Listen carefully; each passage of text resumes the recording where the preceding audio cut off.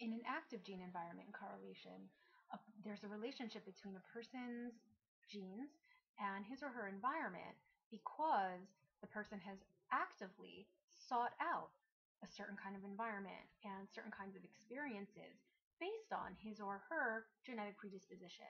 So for example, let's say a person has the genes that are associated with being shy and being reserved.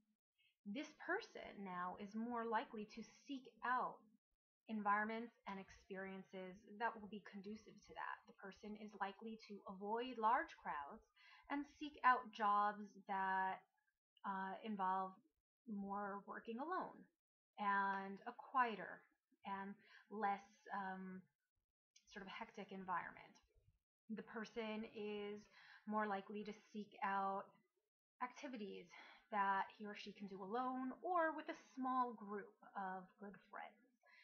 So what you end up seeing is that there's this correlation between the person's genes, which are associated with um, being maybe on the shy side and being on the quiet side, and the environment, which is a, a relatively quiet environment and with relatively few people.